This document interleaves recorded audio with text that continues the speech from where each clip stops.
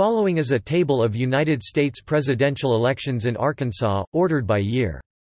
Since its admission to statehood in 1836, Arkansas has participated in every U.S. presidential election except the election of 1864, during the American Civil War, when the state had seceded to join the Confederacy. Winners of the state are in bold.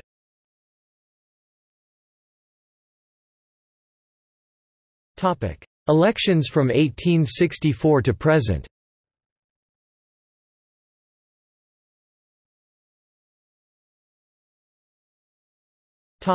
Election of 1860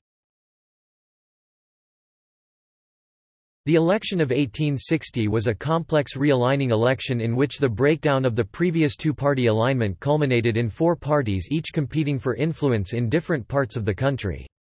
The result of the election, with the victory of an ardent opponent of slavery, spurred the secession of 11 states and brought about the American Civil War.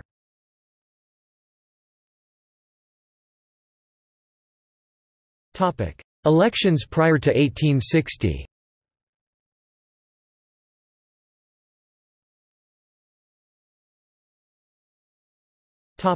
Notes